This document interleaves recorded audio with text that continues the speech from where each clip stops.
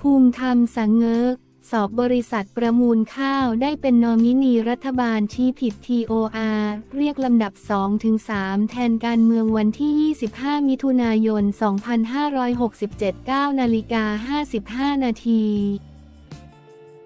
ภูมิธรรม แจ้งสั่งองค์การคลังสินค้าตรวจสอบภายใน 7 วัน หลังเกิดข้อสงสัยบริษัท V8 ประมูลข้าวได้เป็นนอมินีรัฐบาล ชี้หากผิด TOR ให้เรียกลำดับ 2-3 ขึ้นมาวันที่ 25 มิถุนายน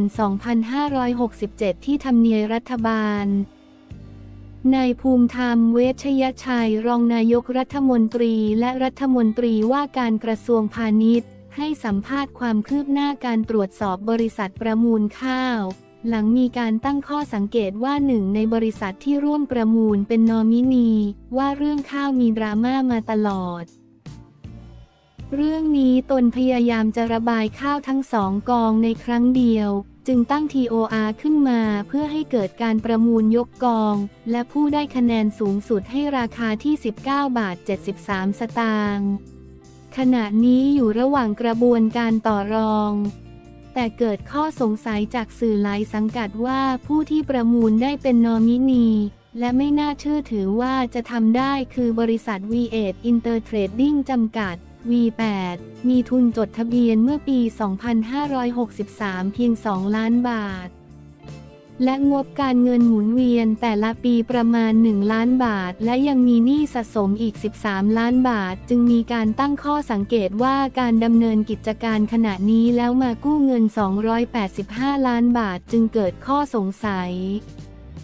ว่ารัฐบาลกำลังเล่นละครเป็นลักษณะเพื่อไทยการละคร สร้างนอมินีให้เข้ามาดำเนินการ นายภูมิธรรมกล่าวว่าเมื่อมีการตั้งข้อสังเกตแม้ตนจะไม่ได้สนใจเรื่องอื่น ต้องการเพียงขายข้าวให้ได้เพื่อปิดตำนานแต่เมื่อเกิดข้อสงสัยเมื่อวันที่ 24 มิถุนายน จึงสั่งการและทำจดหมายถึงผู้อำนวยการองค์การคลังสินค้า เพื่อตรวจสอบประเด็นข่าวดังกล่าว ให้เกิดข้อชัดเจนและสิ้นข้อสงสัยว่า บริษัท V8 ไม่ได้เป็นนอมินีของใคร มีความสามารถไม่ทิ้งข้าวกลางคัน โดยขอให้ดูตามข้อกฎหมายและ TOR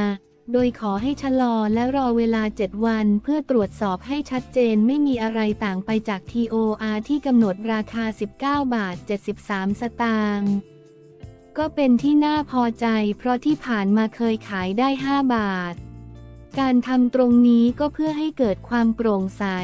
หายข้อคลางแคลงใจโดยเฉพาะจากที่ตั้งข้อสังเกตให้เห็นภาพชัดเจนว่า ไม่มีปัญหา แต่ถ้าพบว่าเป็นนอมินีจริง เพราะเบื้องต้นได้ทราบข่าวมีบริษัทหนึ่งอยู่แถวจังหวัดกำแพงเพชรกับกรรมการของบริษัท V8 มีส่วนที่ทับซ้อนกัน สถานที่ตั้งบริษัทก็อยู่ในที่เดียวกัน ที่เคยส่งออกมันสำปะหลังแต่ไม่เคยส่งออกข้าว หรือส่งแค่จำนวนน้อยแต่ติดแบล็คลิสต์ขององค์การคลังสินค้า จึงขอให้ไปตรวจสอบว่าข้อเท็จจริงเป็นอย่างไร ทุกอย่างต้องมีกฎหมายหลักฐานชัดเจน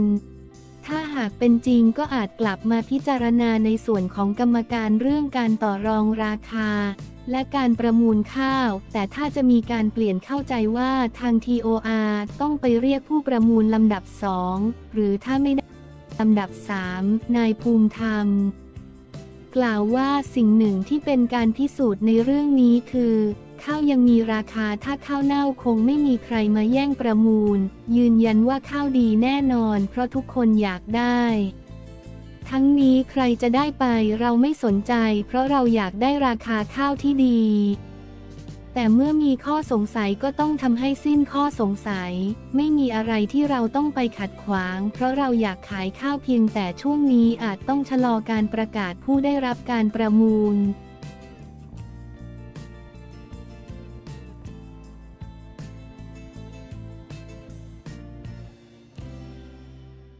8กำปั้นเก็บตัวเยอรมนีลงนวมนักชกยุโรปวิจารณ์หวังมีเหรียญโอลิมปิกกลับบ้านกีฬาวันที่ 25 มิถุนายน 2567 19นาฬิกา31 นาทีมหกรรมกีฬาสุดยิ่งใหญ่ระดับโลกโอลิมปิกเกม 2024 ที่กรุงปารีสประเทศฝรั่งเศสจะจัดขึ้นระหว่างวันที่ 26 กรกฎาคมถึงวันที่ 11 สิงหาคมนี้ สำหรับกีฬามวยสากลถือว่าเป็นกีฬาความหวังที่มีสิทธิ์ลุ้นเหรียญรางวัลมาฝากพี่น้องชาวไทยให้ได้ชื่นชมกัน ในปีนี้ประเทศไทยมีนักมวยทั้งชายและหญิงที่ผ่านเข้าไปชิงเหรียญรอบสุดท้ายแล้วทั้งสิ้น 8 คนได้แก่ มวยสากลชาย 3 รุ่นคือรุ่น 51 กิโลกรัม ทิติสารปั้นโหมด รุ่น 63.5 กิโลกรัม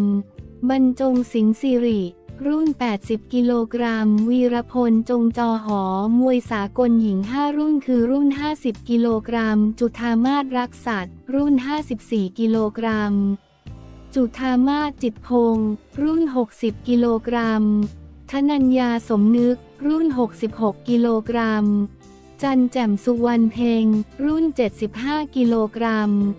ใบสนมณีก้อนทั้งหมดได้ออกเดินทางไปเก็บตัวที่ศูนย์กีฬาโอลิมปิก กรุงเบอร์ลินประเทศเยอรมนี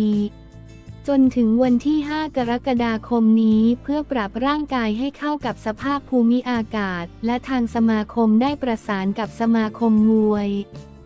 ยุโรปเพื่อหาคู่มาฝึกซ้อมกับนักกีฬาไทย รวมถึงการ weight training เพื่อเสริมสมรรถภาพกล้ามเนื้อ ให้พร้อมกับศึกใหญ่ที่จะถึงนี้ภายใต้การดูแลของทีมโค้ชนำโดยหัวหน้าทีมหญิงพันตำรวจโท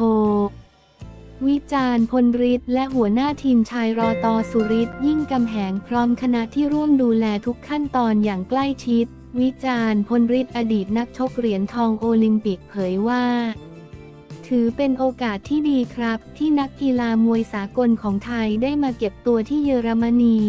ล่วงหน้าซึ่งเมืองนี้ใกล้กับฝรั่งเศสมาก ตอนนี้ทุกคนชินกับอากาศและปรับเวลาได้แล้ว ก็ทำความฟิตกันปกติ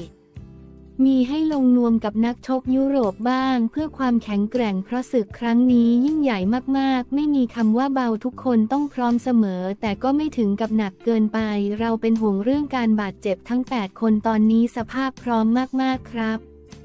ผมหวังว่าจะมีลุ้นเหรียญติดมือกลับไปฝากคนไทยนะครับ ฝากส่งแรงใจเชียร์นักกีฬามวยสากลทีมชาติไทยชุดนี้ด้วยครับ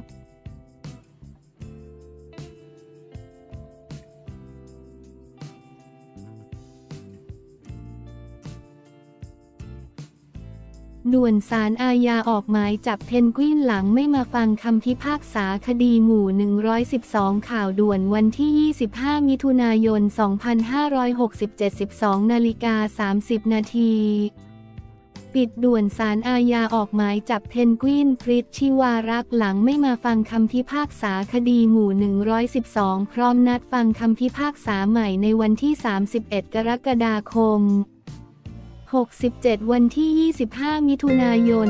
670 ทนายความเพื่อสิทธิมนุษยชน ทวิตข้อความถึงคดีที่เพนกวินฟริตชิวารักถูกนายนพดลพรมพาสิทธิ์จากกลุ่มสชออ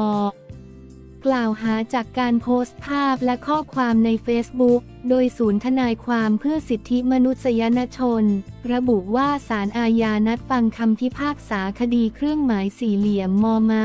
112 ของเพนกวิน พริษฐ์ ชิวารักษ์กรณีถูกนพดลพรมพาสิทธิ์จากกลุ่มศชอ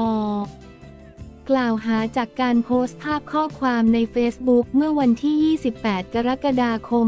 64 แต่นายพริษฐ์ไม่ได้เดินทางมาศาลในวันนี้ทำให้ศาลสั่งออกหมายจับพร้อมนัดฟังคำพิพากษาใหม่ในวันที่ 31 กรกฎาคม 67